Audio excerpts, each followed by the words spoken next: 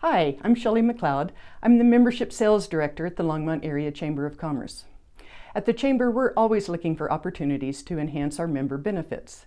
We currently offer Logo Link, e-blast advertising, and even website banner ads. And we're very excited to be launching VisionView. This is an opportunity for our members to talk about their business, product, or mission. It's a 30 to 45 second elevator speech featuring products and services they offer, along with their contact information and logo. Completed videos will appear on the Chamber members website page, or they can take it and put it on their own website or their YouTube page. So thanks for watching, and we look forward to seeing your video right here.